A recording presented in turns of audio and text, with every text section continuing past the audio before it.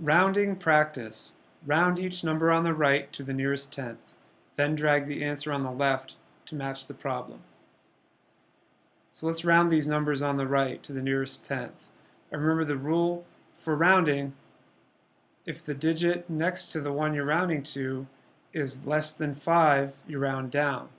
If it's greater than 5, you go up. So this one, 4.45, we're rounding to the nearest tenth, which is right here. Look at the next digit over to the right. You have 5, which means you're going to round up. So it's actually going to be 4.5. Okay, the next one, 4.37, we're rounding the tenths right here. So look at the 7. 7 is greater than 5, so this one's going to be 4.4.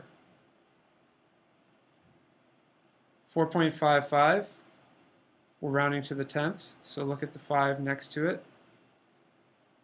Well, that's greater than 5. Well, it's actually equal to 5, but you can still count that as rounding up. So it's 4.6. Now 4.91, we're rounding the 9. Look at the 1. 1 is actually less than 5, so it's going to be rounded down 4.9.